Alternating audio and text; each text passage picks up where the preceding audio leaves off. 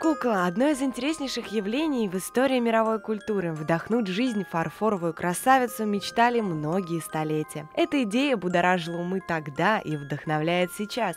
Сочетание красивой и выразительной формы, звука и движения. Ведь куклы так похожи на нас, а когда при помощи механизма они оживают, это не может не завораживать. Прикоснуться к прекрасному теперь можно в Музее декоративно-прикладного и народного искусства.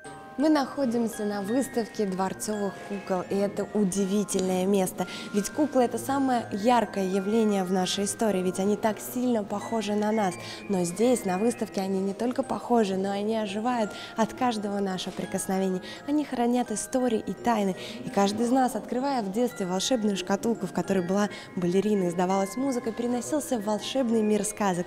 Здесь, в каждой кукле живет жизнь. Удивительное сочетание мелодии, музыки и механизмов. И поверьте, только каждому экспонату хочется подойти, включить его и обратиться по имени-отчеству, ведь они намного старше нас. Добрый вечер.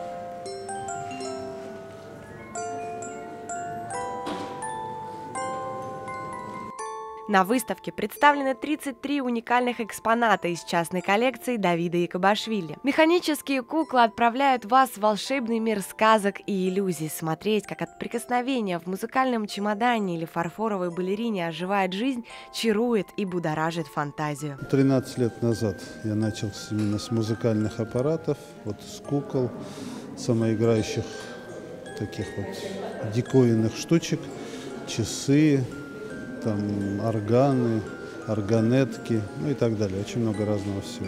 Вот сейчас уже большая достаточно коллекция, более 6 тысяч предметов только вот именно самоиграющих предметов. Это вот что касается механической музыки, вот включая и эти куклы, включая и часы, органы, пианино, граммофоны, патефоны, симфонионы, музыкальные шкатулочки, ну и так далее и тому подобное. Все, что связано с этим.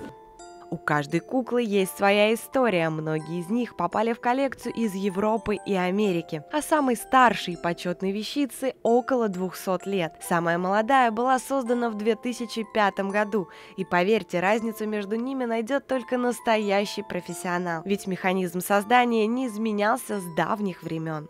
А самое главное, что за всеми музыкальными предметами следят настоящие профессионалы. Ведь, как и у людей, у кукол может быть не самая простая и легкая история. И иногда небольшой ремонт просто необходим. Каждая кукла индивидуальна. И да, конечно же, когда реставрируешь их, хочется к ним обратиться на «вы» иногда и поговорить, пожалуй.